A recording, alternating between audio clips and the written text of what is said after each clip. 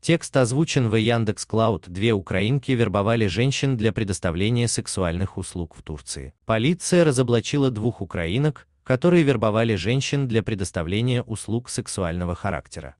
Злоумышленницы промышляли в Киевской области.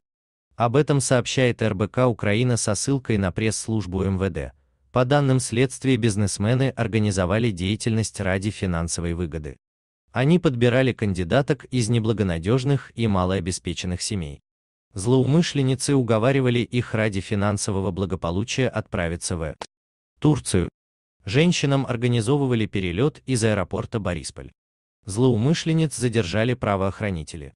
У них провели обыски, где изъяли вещественные доказательства преступлений.